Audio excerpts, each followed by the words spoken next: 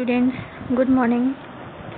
As uh, yesterday you have studied about the certain topics of chapter 7 that is conservation of plants and animals. Today i am here with the same chapter part 3rd in which we are going to cover the certain topics. And the topics that we are going to cover today are we are going to learn about uh, we are going to learn about endangered species extinct species vulnerable species about uh, the project tiger red data book and about the forest uh, about the de- about the reforestation and afforestation. So these things that we are going to uh, study today one by one in which the first topic is about the endangered species. So, first of all, we know that what are endangered species. These are mainly the species that that is at the high risk of becoming extinct. Extinct means disappear. This is because of a certain rapid decrease in its population or loss of its critical habitat. Previously, any species of plants and animals that was uh, threatened with extinction could be called endangered species. So these are mainly the species that are highly at the risk of extinction and that is mainly due to their critical loss of habitat. So this kind of species are commonly called endangered species. For example, there is one figure a cheetah is an endangered example of it is an example of the endangered animal. Just like other examples of the endangered species are. Means these are the species of the plants and animals which are at the high risk of becoming extinct. And such kind of species are known as endangered species. Now we are going to know about uh, more about uh, the endangered species. Uh, roughly 99% of the threatened species are at risk of uh, human activities alone.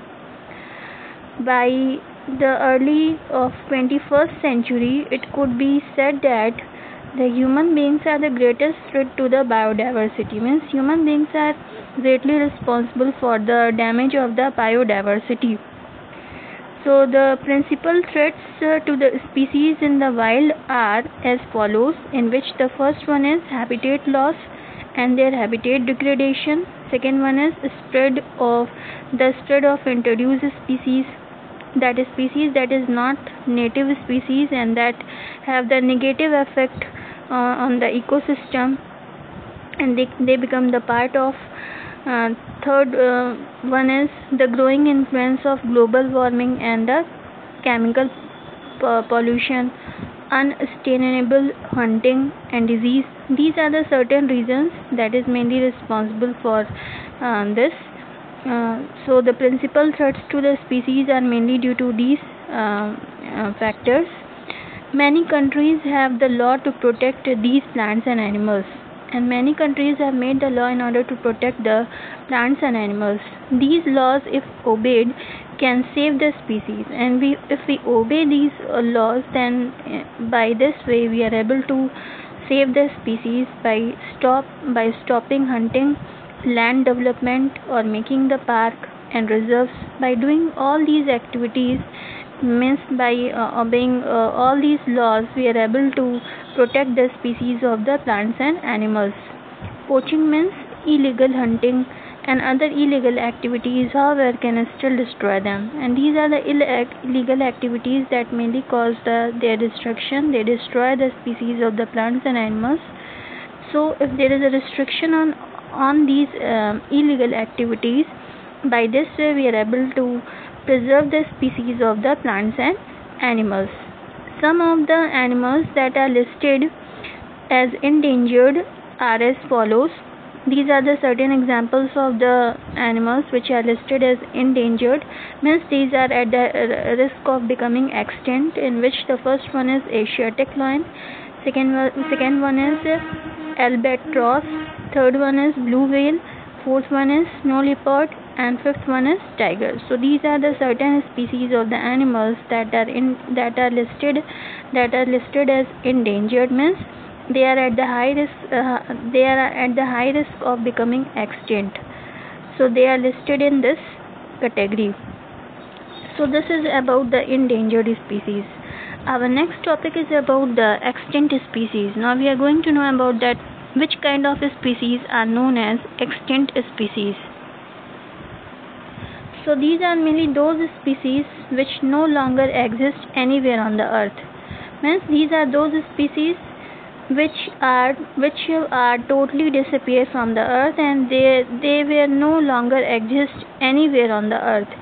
That kind of species is commonly known as extinct species. For example sea cow dodo. Dodo is the name of the bird that become extinct.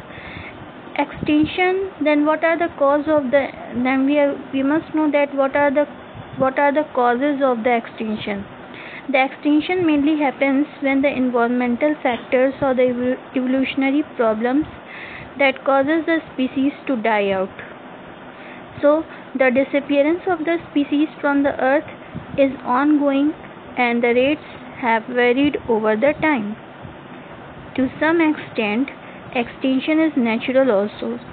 Changes to habitat and poor reproductive trends among the factors that can make a species death rate higher than its birth rate for long enough that eventually none are left. And a human also cause the other species to becoming uh, extinct by hunting over harvesting means the human human beings also responsible for the extinction of the species because of their different activities such as by hunting over harvesting introducing of invasive species to the wild polluting and changing the wetlands and the forests to the croplands urban areas even the rapid growth of the human population is also causing the extinction by ruining the natural habitats. So, due to the increase in the population of the human beings, there is an increase in the demand of the people. In order to meet that demand, there is a destruction of their natural habitats. So, these uh, things uh, are also responsible for the extinction of the species of the plants and animals. The extinct species may be of animals or plants so the extinct species may be of animals or plants. A type of animal which no longer exists on earth is called the extinct animals.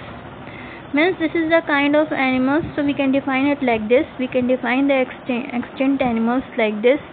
this. These are the kinds of animals which no longer exist on the earth and it means that they are the animals that has no living member on the earth and this time they are not the living member on the earth for example dodo cave lion, Caspian tiger, Irish deer. These are the certain examples of the extinct species that were not uh, this time today this time they are they are not existing on the earth so they were no longer member on the earth and that kind of species are commonly known as extinct species so these are the certain examples of the extinct species that i have told you and i have told you that what is the definition of this so we can define the extinct species like this. These are the kind of species which no longer exist on the earth. And this kind of species is commonly known as extinct species. And I have given you the certain examples also like dodo, cave lion, Caspian tiger, Irish deer. These are the certain examples of the extinct species. Now we are going to know about the another kind of species and that is commonly known as threatened species. Now we are going to know about that which kind of species are known as threatened species. These are mainly those species of animals, plants and fungi which are vulnerable to endangerment in the near future. Means that they are going to become endangered in the near future. And that kind of species of plants, animals and fungi is commonly known as threatened species. The example of the threatened species are cranes, bustards, pigeons, doves, hornbills, and swamp, swamp deer. These are the certain examples of the threatened species. India, now we are going to know more about that uh, threatened species. India contains about 172 species of animals uh, considered globally threatened or 2.9% uh, of the world total number of threatened species including 53 species of mammals and there are about uh, 2.9% of the world's total number of threatened species. That includes 53 species of mammals 69 species of birds 23 of reptiles and 3 species of amphibians so this is about the threatened species. So we can define the threatened species like this. These are mainly those species of the plants and animals that um, that are uh, that are going to be endangered in the near future. So that type of species is commonly known as threatened species. Our next type of species is that type of species is uh, commonly called vulnerable species these are those species which have been categorized by the International Union for Conservation of Nature IUCN. The full form of IUCN is International Union for Conservation of Nature as, like, as likely to become endangered unless the circumstances that are threatening its survival and reproduction improve. Means these are mainly those species if their circumstances uh, they are going to become endangered. They are not endangered but but they are going to become endangered unless unless circumstances that threatening its survival and reproduction improve. So this kind of species is commonly known as vulnerable species. Vulnerability is mainly caused by the habitat loss and what are the reasons that that is responsible for the vulnerability that is their habitat loss. It means that their destruction of their homes. This is uh, one of the main cause of the vulnerability. Now there are certain examples of the vulnerable species also. For example blue sheep asiatic elephant gangetic dolphin. These all are certain examples of the vulnerable species. Now our next topic is about the project tiger. Now we are going to know about that. What is project tiger and when it was launched? It is a type of uh, the tiger, uh, tiger conservation program that uh, that uh, tiger uh, that tiger um, conservation program launched in april 1973 by the government of india during the prime minister indira gandhi tenure. So it was launched in april 1973 by the Government of India during the Prime Minister Indira Gandhi tenure. Kailash, Kailash Sankhala was the first director of the Project Tiger and Kailash Kailash uh, Sankhala was the first director of this kind of Project Tiger. Now we are going to know about that what is the aim of the Project Tiger. So firstly we have we have known that it is a type of the tiger conservation program which was launched in April 1973 by the government of India.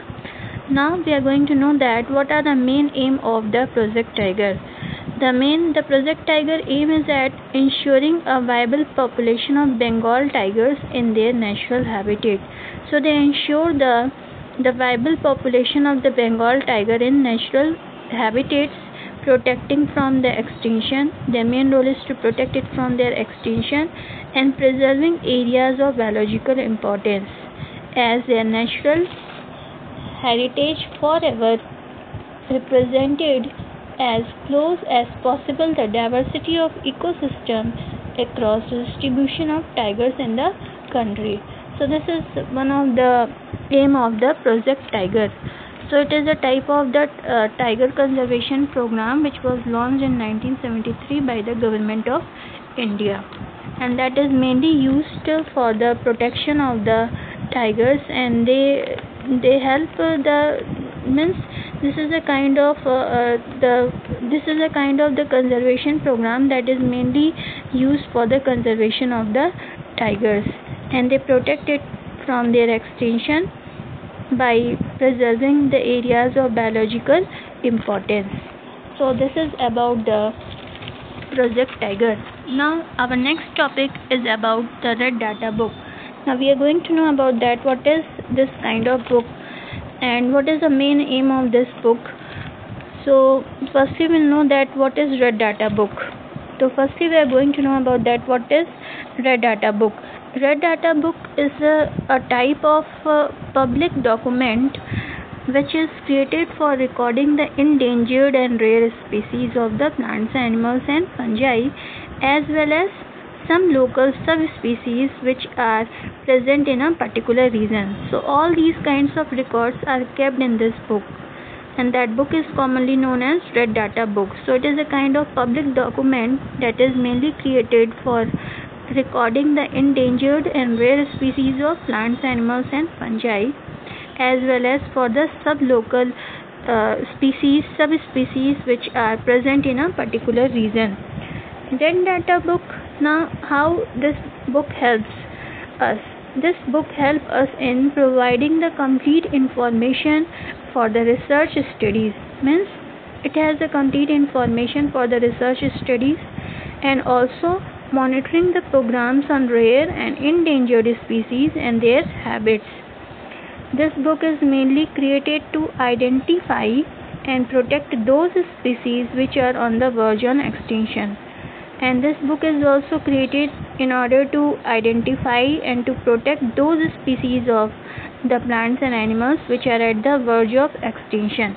So this is uh, one of the the work of the red data book. So this is about the red data book that we have studied now. The next topic is about the reforestation and afforestation. Now we are going to know about that what is reforestation and what is afforestation. So firstly we'll know that what is firstly we'll know that what is reforestation reforestation means the planting of trees can be divided into we can divide it into two categories that is first one is afforestation and second first one is afforestation and second one is reforestation. So firstly we will study about the reforestation. Reforestation is mainly refers to planting the trees on land that was previously forest. If we plant the trees on the lands that is previously covered with forest it is commonly known as it is commonly known as reforestation. So this is about the reforestation so we can define it like this also. The planting of trees in an area in which the forests were destroyed is commonly known as reforestation. The planted trees should generally be of same species which are cut down from the forest means whatever the types of the species of the plants and animals which are found on the forest are being cut down. So the the plants that we uh, the the plants that are planted on that uh, land must be of same kind. So during uh, we should plant at least as many trees as have been cut down. And we should we should plant more and more trees uh, more and more trees as have been cut down. So this is about the reforestation. Next topic is about the afforestation. Now we are going to know firstly about that what is afforestation and how it is differ from the reforestation.